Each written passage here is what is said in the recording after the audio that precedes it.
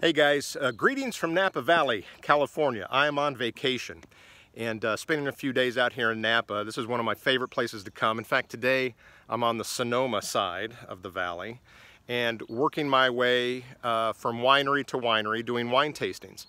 And even though I'm on vacation, uh, I can't ever stop thinking about branding and, and lessons we can learn.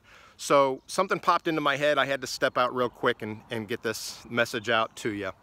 Uh, as we're doing a wine tasting, many of them in fact, uh, you know, I, I thought, gosh, as, as, you're comparing one varietal to another and trying to figure out which one you like the best, you're doing a direct, direct comparison. What's the difference? What's the difference between this one and that one? And even between wine varietals, as you go from one winery to another winery, you start to compare the wineries. And at the end of the day, you figure out, okay, we visited four wineries today. Which was your favorite? Let's compare and contrast. What's the difference between this one and that one? That's exactly what consumers do every day with brands. And that's what they're doing with your brand. Uh, every time they consider buying from you, they, they uh, compare you directly to the competition.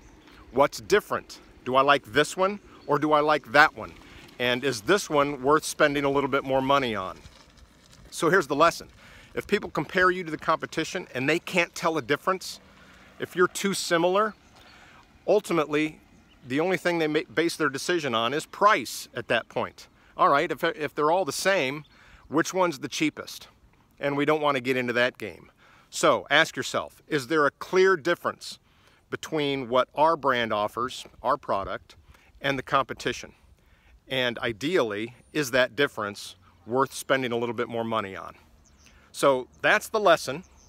Uh, hopefully there's a clear difference between your, your brand, your product, and the competitors.